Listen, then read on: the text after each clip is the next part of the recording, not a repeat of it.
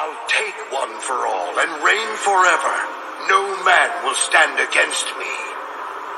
I will be its absolute ruler, the Demon Lord.